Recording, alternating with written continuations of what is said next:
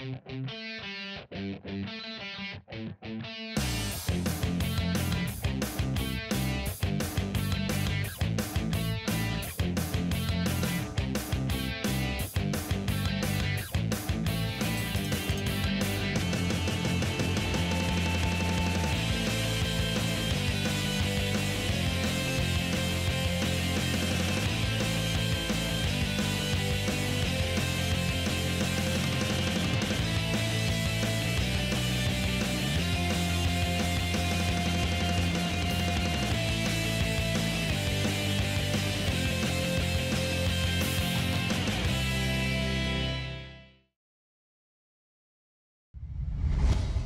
Magandang araw, oras na para sa pinakabagong balita sa lagay ng panahon at sa mundo ng science and technology. Ako po si Jel Miranda and we welcome you to DOS TV, Science for the People. Balikan ang kwento sa likod ng Philippine National Halal Laboratory na dinevelop ng Department of Science and Technology, Regional Office 12, ang natatanging halal laboratory na nagbibigay serbisyo sa mga lokal at international na kliyente sa kabuang supply chain ng pagkain at ilang piling produktong halal. Dito lamang sa Sinisiyensya.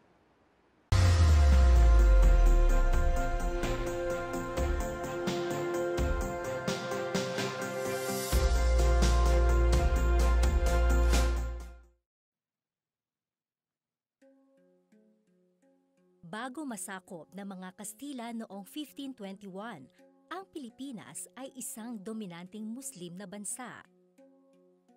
Bilang bahagi ng kanilang pananampalataya, ang mga Pilipinong Muslim ay sinusunod ang tinatawag na limang haligi, ang pundasyon ng relihiyong Islam.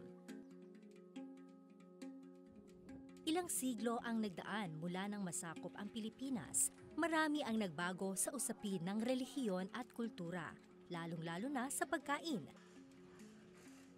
Ngunit para sa mga Pilipinong Muslim, ang kanilang dieta ay hinding-hindi magbabago. Ang pagkain ay mananatiling halal.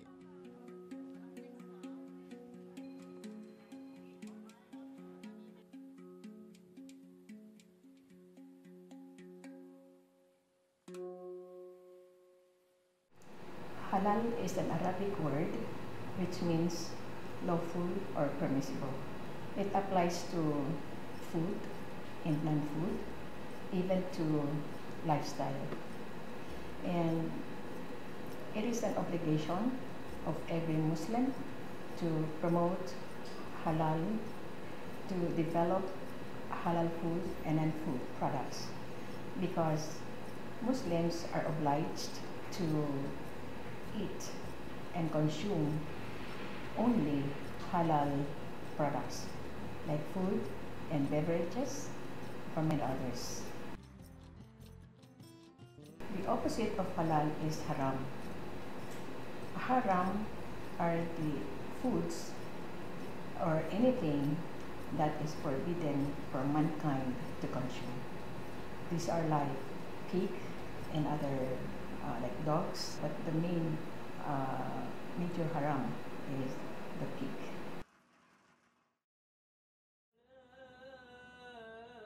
Ang halal po ay base po yan sa Quran. Tinukoy sa Quran ng ilang beses yung halal.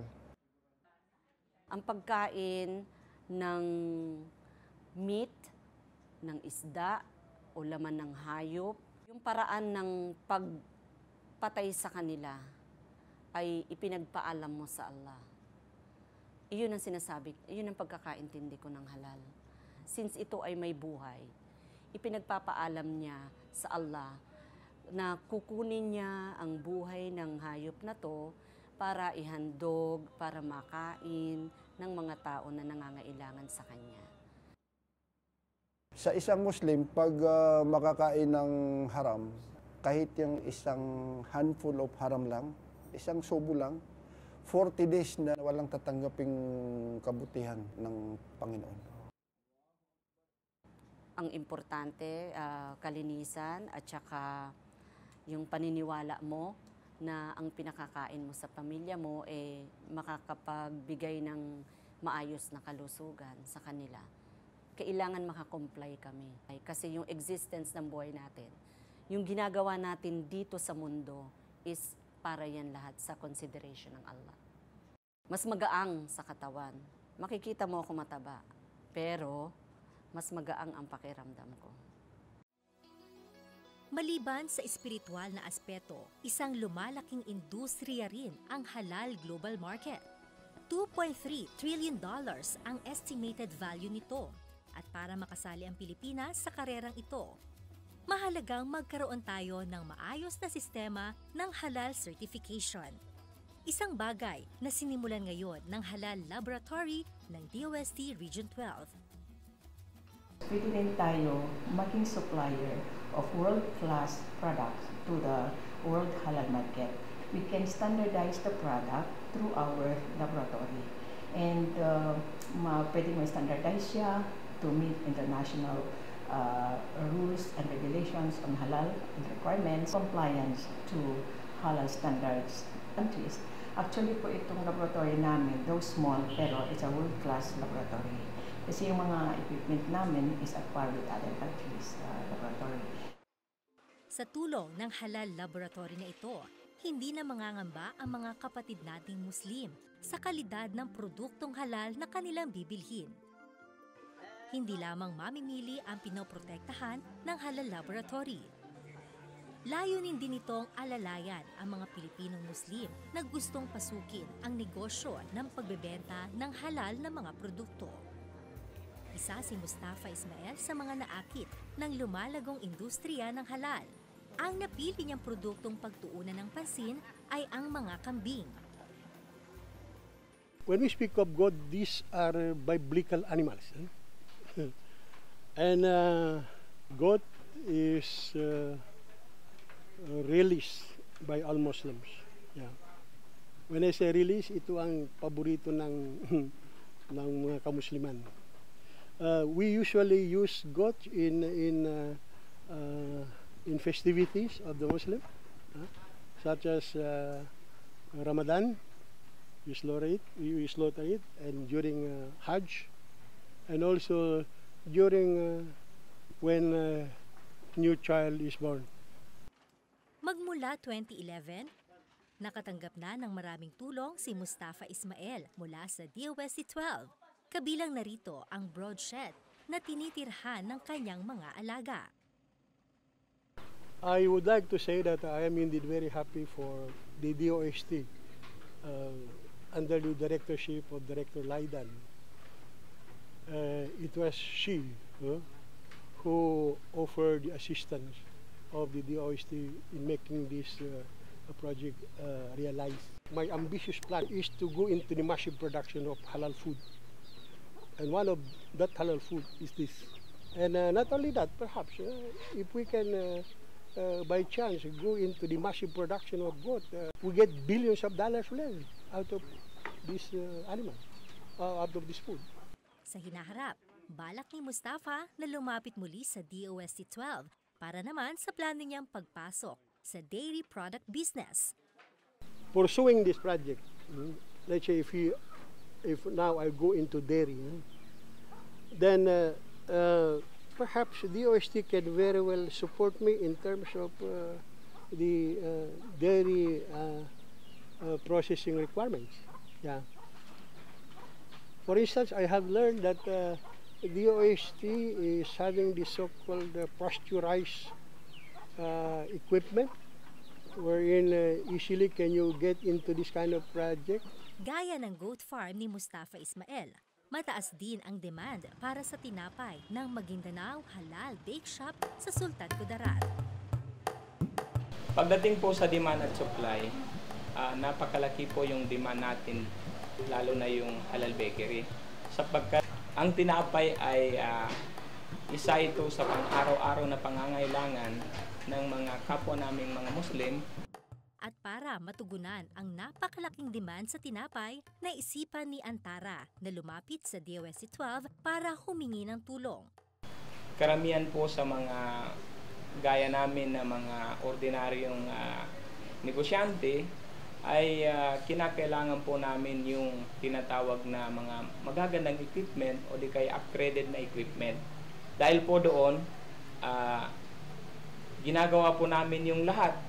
Ngayon po, nung dumating po yung tulong ng DOST 12, lalo na yung spiral mixer, dough roller machine, yung bread slicer po na puro po stainless, lalo yung mga mga table ah, working table po na stainless. So parang gumaan po yung ah, proseso ng pagpata, pagtatrabaho ng mga ah, aking kasamahan. Kaya dahilan po ito na nagkakaroon kami ng maraming supply. So nabibigyan po namin ng maraming supply yung aming mga customers. Pumalo po sa hanggang 200 to 300% yung laki ng supply namin. Kami po dahil yung income po namin noon.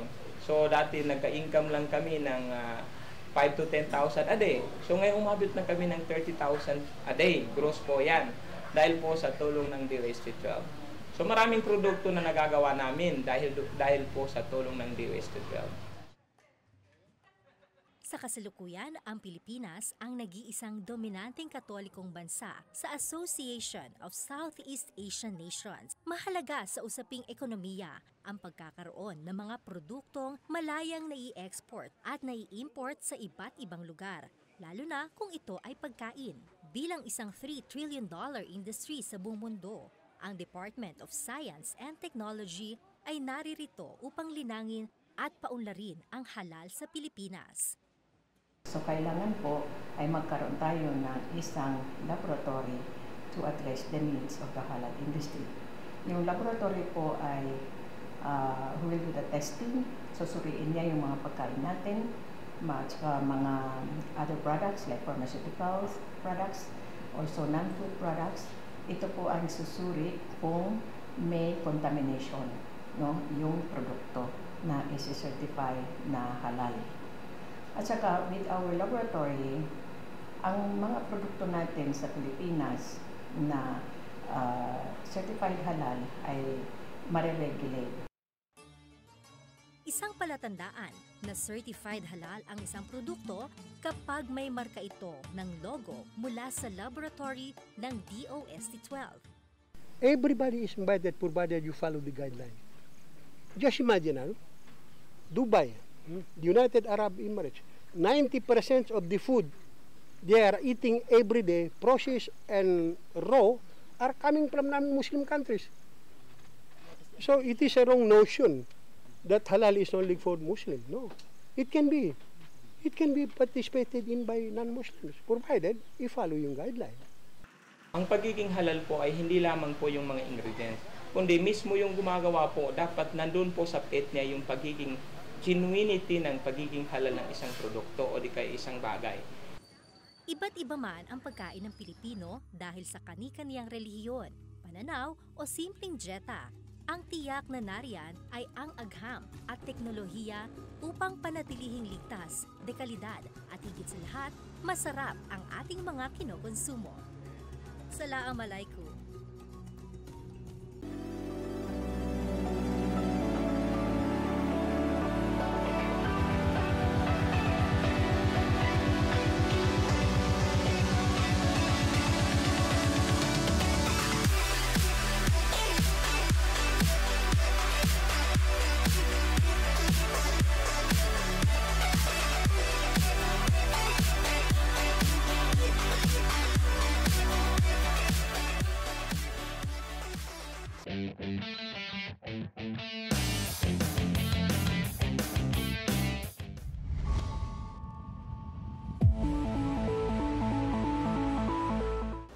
Good morning sa inyong mga viewers ng DOS TV. Ako si Nico Peñaranda para mabigay ng weather update sa mga oras na ito.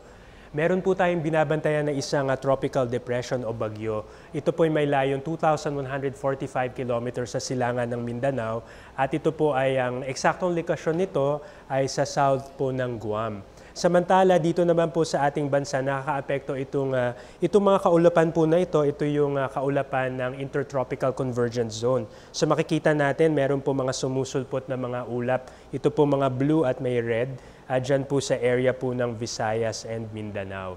Ngayon, Ah, dahil nga dyan, dito sa Mindanao area, particularly, makakaranas po ng mga kalat-kalat na pag-ulan or maulan na panahon ah, ngayong araw. Kaya naman 32 degrees dito sa Cagayan de Oro City at 32 degrees naman sa Zamboanga City at 33 degrees sa Davao City.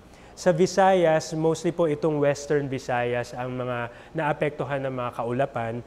At, ah, pero dito naman sa bandang silangan ng Kabisayaan, ah, mas bahagya po yung epekto. Pero may chance lang ng mga ah, rain showers pagdating po nung hapon o gabi. At 31 degrees sa Iloilo, 32 degrees naman sa Mactan, at Tak- Tacloban City naman ay 32 degrees. Ngayon dito sa Luzon, mas ah, bahagya ang epekto nitong Intertropical Convergence Zone. Um, particularly dito lang po sa may eastern section ng Luzon, ng Kabikulan, ah, makakaranas po na may kadalasan na mga ah, rain showers. Pero pagdating po dito sa Northern Luzon at ah, sa Me- Metro Manila, bahagya lang po maulap at uh, tsansa ng pagkulimlim pagdating po ng hapon o gabi. 28 degrees sa Tagaytay City, 31 sa Metro Manila, 30 sa Tuguegarao at 23 sa Baguio City at ah, 30 degrees naman sa Legazpi City.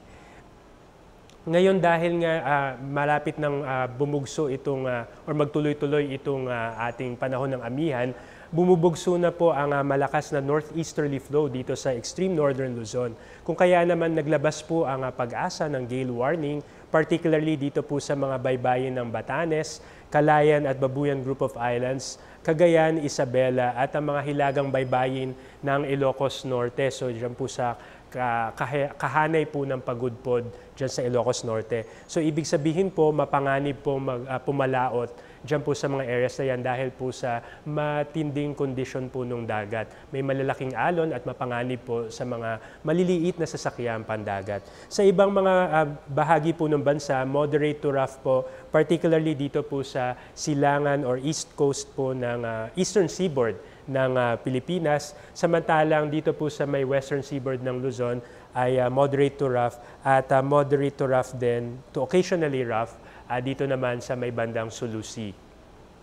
Ah, para sa ating ah, three-day outlook, so dito sa Metro Manila mananatiling maganda ang panahon natin sa susunod na tatlong araw. 24 to 31 degrees po bukas and then 25 to 32 sa susunod na dalawang araw.